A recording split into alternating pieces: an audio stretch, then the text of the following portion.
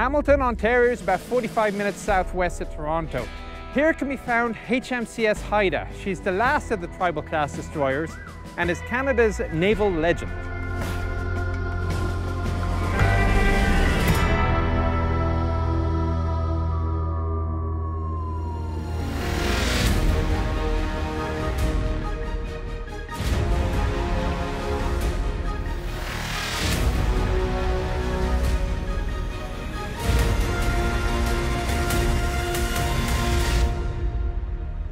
If you had asked a Canadian at the beginning of the 20th century to tell you about their country's navy, which has more than 240,000 kilometers of coastline, their answer would probably be no longer than this sentence.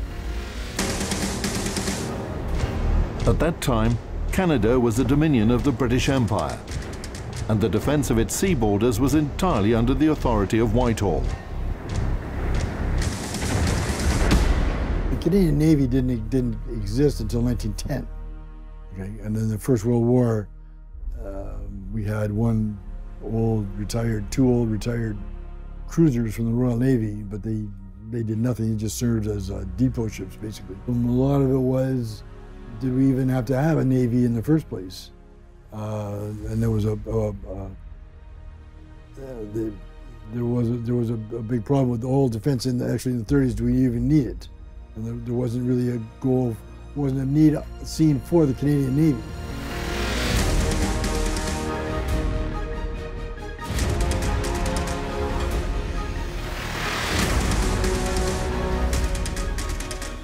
In the first half of the 1930s, Japan, Italy, France and Germany were reinforcing their navies with brand new destroyers, carrying powerful artillery and torpedo armament.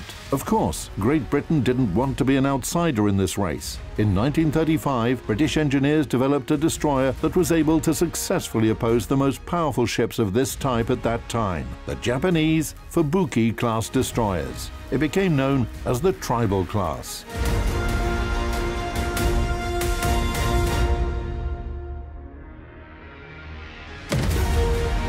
As soon as the Royal Navy received 16 tribals, British dominions expressed their desire to obtain the newest destroyers as quickly as possible, because the drums of the European war were already heard across the oceans. Canada mobilized.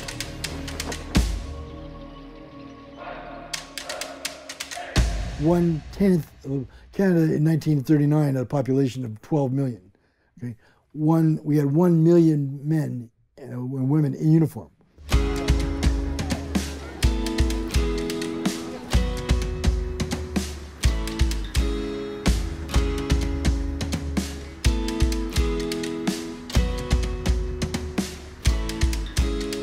All of those people were volunteers. All the Canadian combatants were volunteers. So when you see those war graves in in Normandy and in uh, Amsterdam, in Holland, or whatever, or in Italy. Those people were all volunteers.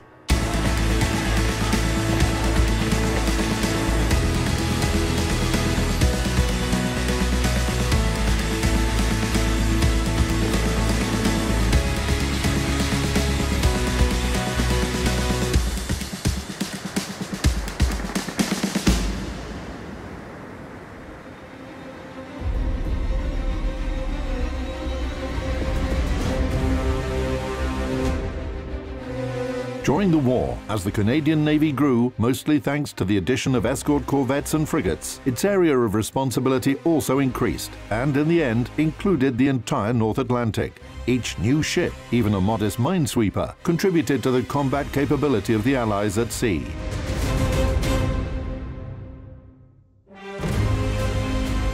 Destroyer Haida was laid down at the end of September of 1941 at a British Vickers Armstrong shipyard the ship was commissioned two years later and was assigned to the Metropolitan Fleet.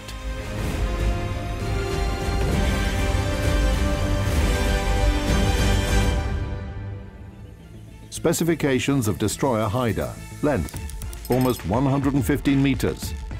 Beam, more than 11 meters. Draft, 3.96 meters.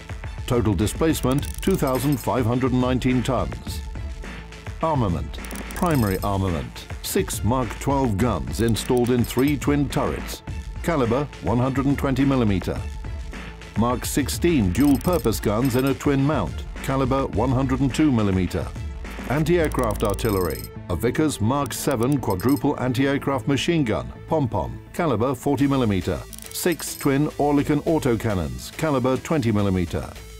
Mine and torpedo armament. A quadruple torpedo launcher, caliber 533 mm. Two Mark IV mortars and an aft depth charge release gear. The ship carried 30 mines in reserve.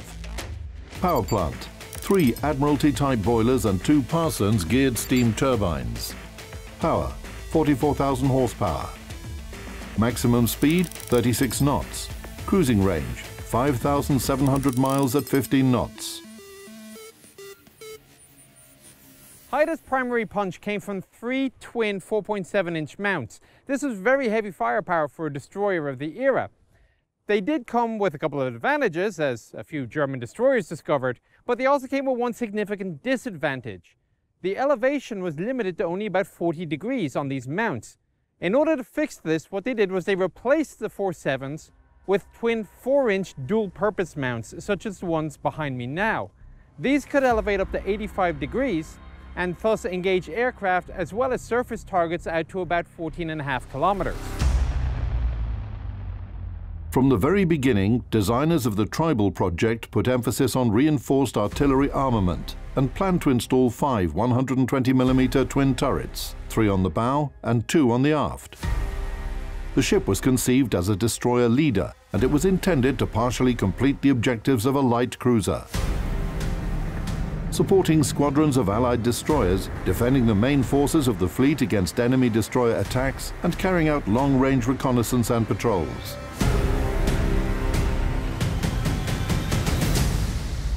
One of the controversial design decisions when they were creating the tribals was that they decided to reduce the torpedo complement in favor of the gun batteries. As a result, the tribals were only equipped with a single quad mount for the 21-inch torpedoes, and these would go about 5 miles at 45 knots. The theory was that ordinarily the torpedo would be the main armament of a destroyer to sink ships, but it turns out in practice, Haida's kills were all done with gunfire.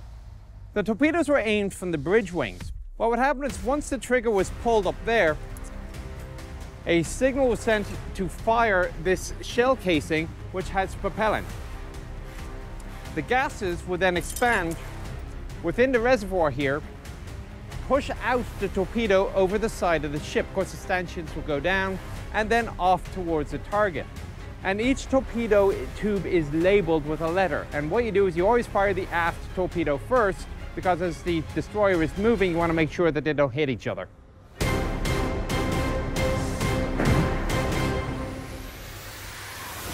Course, having the ships is all very well, but they're not going to do very much without having the personnel to man them. Canada started off the war as basically a homeland defence force. She had six destroyers, a number of smaller vessels, and a navy of about 1,700 personnel. They had great possibilities for promotion though, because by the end of the war, Canada's navy had expanded to over 110,000 personnel and had the third largest amount of surface vessels in the world. Destroyer Haida began her combat career by escorting Russian Arctic convoys. At the end of December 1943, the German battlecruiser Scharnhorst tried to attack convoy JW-55B, which was escorted by Haida among others.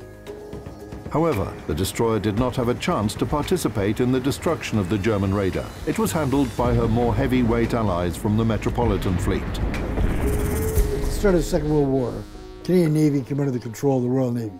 And they were, they were controlled, operated by, basically controlled by the Royal Navy. It wasn't until later on, again, as the Canadian Navy grew, that we were looking for our own, um, we again started, uh, became our own entity unto ourselves, okay? just A, because of size, and B, because of where we were. But by and large, yes, the Canadian Navy was uh, very much um, treated as uh, colonials and second-class citizens, except for, again, this um, and the tribals. These, these were the, the, the, the, the top, top of the forum, and they bested the Brits at doing the same thing. And they, In January 1944, Haida was assigned to the 10th Destroyer Flotilla, which monitored the western part of the English Channel. On April 26th, during a patrol, her squadron discovered three German destroyers. Haida and her sister ship, Athabaskan, engaged the German T-29, which ended in the destruction of the latter. One and a half months later, roughly in the same area, a battle took place in which Haida made herself famous and brought glory to the entire Royal Canadian Navy. The 9th of the 9th of June 1944 saw Haida partake in a rather spirited and very chaotic fight against the 8th Destroyer Flotilla of the German Navy. The 8th was a small force consisting of three destroyers, two Narviks, a captured Dutch ship, and a torpedo boat, whilst the 10th Destroyer Flotilla, of which Haida was a part, consisted of two four-ship divisions. The 19th was mainly inexperienced vessels, and the 20th was, shall we say, the 18th. They had been told to intercept a German force which was known to be approaching the western approaches of the English Channel. And sure enough, contact was made at about seven miles.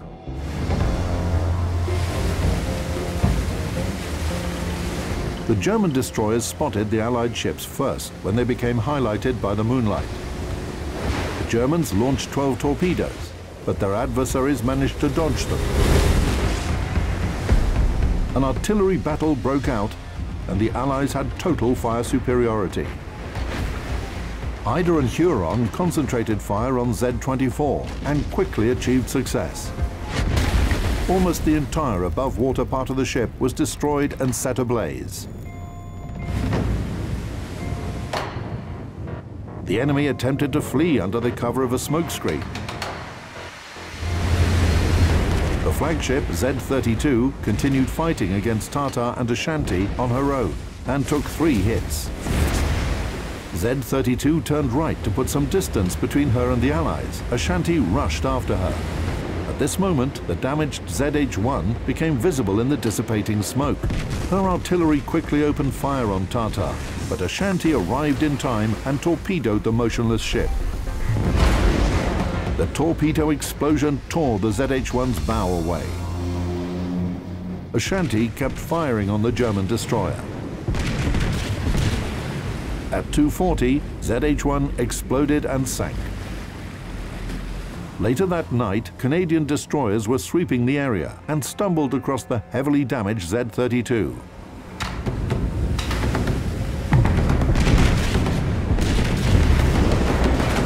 Fleeing from them, Z-32 was driven ashore on the Ile de Batz, where in the morning she was finished off by British Beaufighter aircraft.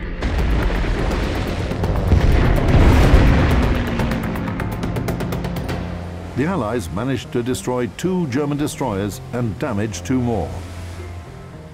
After the successful battle on June 9, 1944, Haida and her allies continued to complete missions aimed at removing enemy ships from coastal waters. During the fighting in the English Channel, Haida had a couple of advantages called radar. In fact, she had three of them. She had firstly a gunnery radar. This was accurate enough to spot fall of shot, both outbound and inbound, much to the consternation of the operators. She had warning combined, which is a fairly reliable radar, although it was well known to the Germans, and so the British and Canadians didn't like to use it unless contact was joined. And finally, she had warning surface which was a pretty reliable radar which would detect a destroyer-sized target at about 9 miles. All of these would prove vital in the night fighting in the English Channel. Despite the fact that the German surface fleet was virtually non-existent by the end of June 1944, the naval war went on. The more success the Allies achieved in the land operations, the more desperately and fiercely German submarines opposed them at sea. The time-honored method of dealing with an enemy submarine will be the depth charge, usually mounted on rails at the stern of the ship or maybe fired off the side with K-guns. The problem was that in order to hit your target, you had to go directly over it, which meant A, that you lost contact, and B, you actually had to be accurate enough to do it. The end replacement of it, however, was the squid mortar. Haida received her squids in the 1950s update. They replaced both the depth charge rails and the aft gun. Now the advantage of Squid was it was adjustable in range. No longer did you have to ride over your target in order to sink it. And they were fired automatically by means of a simple electrical connection attached to the sonar system inside the ship. Haida has a U-boat killed to her credit, U-971 in 1944, as Haida was protecting the western approaches to the English Channel during the invasion of France. Overall, the Royal Canadian Navy developed a reputation for ASW excellence. They sank about 30 U-boats, and in the post-war period, they became the de facto ASW force for NATO. During World War II, the number of people in the Canadian Navy grew almost 70 times. And in all those years, Canadian sailors developed their own understanding of naval service, which was slightly different from the traditions of the British Royal Navy. An interesting event in Canadian naval history happened in 1949 with what are known as the Canadian Mutinies. Uh, the word is a little bit strong for what happened, uh, not least because the captain of Athabaskan accidentally on purpose left his cover on top of the written list of demands from the junior sailors, so he never officially saw anything. This happened on a couple of ships about the same time, not Haida, it should be noted, and what it really was was more of a sit-down protest pending an airing of grievances. And this came down to something of a cultural difference between North Americans and people from England where North American people, we tend to be a little bit more independent, shall we say. We like to know why we're doing, we like a little bit more consideration, shall we say, from up above, instead of simply being told you're going to do this when, you know, like it or lump it. The officers were more steeped in the tradition of the Royal Navy, the British Navy, which perhaps was a little bit more autocratic. The end result of this, it all worked out fairly well, uh, is that the Canadian Navy developed new policies which took greater concern of the requirements, shall we say, of the junior enlisted sailors. Some people in the Canadian government believed that this incident was inspired by communist ideas, but this opinion was completely unjustified. Moreover, the destroyer was soon sent to Southeast Asia to fight against the Red Menace. Um, Again, the ship was converted to the way it is now. The armament was all changed, upgraded in 1951. And this is the way the ship was when it went to Korea in 1952. And that's where Cat, uh, Haida became famous um, when it joined what they call the Train Busters Club. And this was a method of trying to destroy North Korean uh, trains that ran along the coast at night. It ran at night, figuring they couldn't be seen. So they ran and became a contest invented by the U.S. Navy to see if they could destroy these trains, train busters. Um, in the history of the Train Busters Club, there were 25 trains destroyed. Haida is second in train busting with, with two and a half. Haida's record has always been superb uh, gunnery, superb gunnery actions. In fact, the current Canadian Navy trophy uh, for gunnery expertise is named after Haida. It's the Haida Trophy for gunnery excellence. During her second tour of duty in the Yellow Sea in 1954, Haida patrolled Korean shores, supervising the implementation of the ceasefire treaty supported by the United Nations. This was the first example of what we call today a peacekeeping mission, 10 years before this notion was introduced and became widely used. Haida reprised this role during the Suez Crisis of 1956.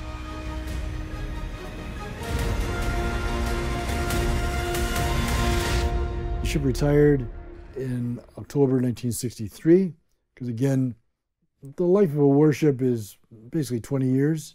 And again, at that time, the Canadian Navy was expand, then expanding. They were building completely different types of ships. And uh, again, the men that were needed on the tribals were needed to man other ships. So the, the tribals were scrapped. And it was that time that uh, an ex uh, naval person, um, Neil Bruce, decided that it'd be try to preserve the ship as, a, as Canada's greatest ship and just preserve it as a tribal. And they were successful in that. Uh, an organization was, was formed, uh, Haida Incorporated, and they acquired the ship in, from Crown Assets in 1964. Um, they bought it for a, a, huge sum at that time, $20,000. And it existed there as a museum, naval, uh, um, you know, National Historic Site. If you asked a Canadian today to tell you about their country's navy, which has more than 240,000 kilometers of coastline, then you would definitely hear a long story full of brilliant victories and heroic names. Especially Haida, a destroyer of the Royal Canadian Navy.